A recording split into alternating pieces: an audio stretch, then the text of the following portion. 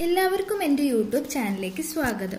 ഞാൻ ഇന്ന് ഇവിടെ പറയാൻ പോകുന്നത് നമ്മുടെ ഇടയിൽ തന്നെ ഇന്ന് കണ്ടുവരുന്ന ഒരു ഡിസീസിനെ കുറിച്ചാണ്. ഗൗട്ട് അഥവാ സന്ധിവാദം എന്ന് പറയുന്നു. നമ്മുടെ ശരീരത്തിലെ യൂറിക് ആസിഡിന്റെ അളവ് കൂടുമ്പോൾ ഉണ്ടാകുന്ന രോഗമാണ്. അങ്ങനെ നമ്മുടെ ബ്ലഡിൽ യൂറിക് ആസിഡിന്റെ അളവ് കൂടുമ്പോൾ അത് യൂറേറ്റ് ക്രിസ്റ്റൽസ് ഉണ്ടാക്കുന്നു. അത് ഈ ജോയിൻസുകളിലൊക്കെ കെട്ടി നിൽക്കും. അങ്ങനെ സന്ധികളിൽ ഭയങ്കര വേദനയും നീർക്കെട്ടും അനുഭവപ്പെടും. അതിനെയാണ് കൗട്ട് അഥവാ സന്ധിവാദം എന്ന് പറയുന്നത്. എന്തുകൊണ്ടാണ് ഇതുണ്ടാകുന്നത്? കൂടുതലും നാം കഴിക്കുന്ന പ്യൂരിൻ അടങ്ങിയ ഭക്ഷണം മൂലമാണ്. അതായത് ഇറച്ചി മീൻ മുട്ട മദ്യം ഓർഗൻ മീറ്റ്. പിന്നെ പാരമ്പര്യം over weight kidney diseases drug intake തുടങ്ങിയവയിൽ നിന്നും ബ്ലഡിൽ യൂറിക് ആസിഡിന്റെ ലെവൽ കൂടുന്നു. എന്തെന്നാൽ പ്യൂരിന്റെ വേസ്റ്റ് പ്രൊഡക്റ്റാണ് യൂറിക് ആസിഡ്. എന്താണ് പ്യൂരിൻ? പ്യൂരിൻ എന്ന് പറഞ്ഞാൽ ശരീരത്തിൽ കാണപ്പെടുന്ന ഒരു പ്രകൃതിദത്ത പദാർത്ഥമാണ് പ്യൂരിൻ.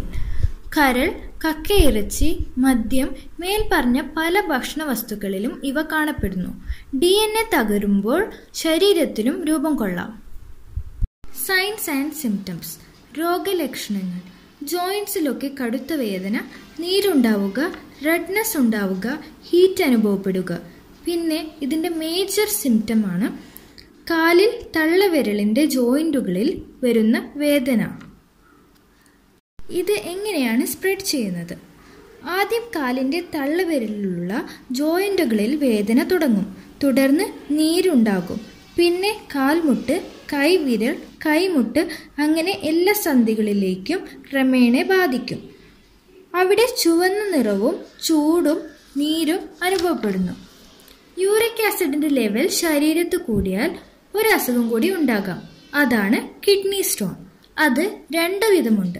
യൂറിക് ആസിഡ് സ്റ്റോണും ഓക്സലേറ്റ് ക്രിസ്റ്റൽ സ്റ്റോണും. യൂറിക് ആസിഡ് സ്റ്റോൺ അതിന് അധികം വേദനയുണ്ടാവുകയില്ല. എന്നാൽ ഓക്സിലേറ്റ് ക്രിസ്റ്റൽ സ്റ്റോണിന് മുള്ള കുത്തുന്നത് പോലെയുള്ള വേദന അനുഭവപ്പെടാം.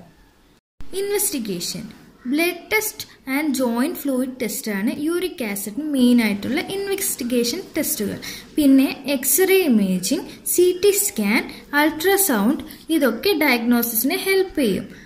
ഡയറ്റ് കഴിക്കേണ്ടത് cherry blueberry fibre diet vitamin C food coconut water vegetables etcetera ഒഴിവാക്കേണ്ടത് protein food soya cheese cauliflower mushroom and alcohol ഗൗട്ടുള്ള patients നന്നായി വെള്ളം കുടിക്കണം. കാരണം മൂത്രത്തിലൂടെ കുറച്ചൊക്കെ ക്രിസ്റ്റൽസ് പുറത്തു പോയേക്കാം.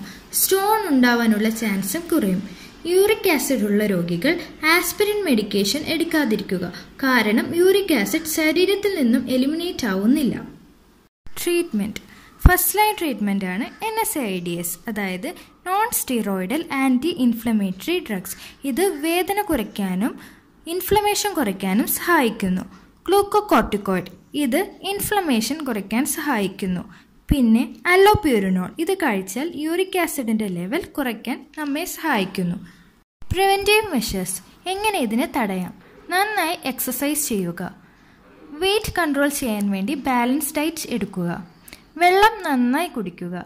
പഞ്ചസാര അടങ്ങിയ വെള്ളം കുറയ്ക്കുക. ആൽക്കഹോൾ ഒഴിവാക്കുക. പ്രത്യേകിച്ചും ബിയർ. പ്രോട്ടീൻ അടങ്ങിയ ഫുഡ് കുറയ്ക്കുക. പ്രത്യേകിച്ചും meat sea food and organ meat ഭക്ഷണക്രമത്തിൽ അല്പം ശ്രദ്ധ ചെലുത്തിയാൽ ഇതുപോലുള്ള ധാരാളം അസുഖങ്ങൾ കുറയ്ക്കാൻ കഴിയും.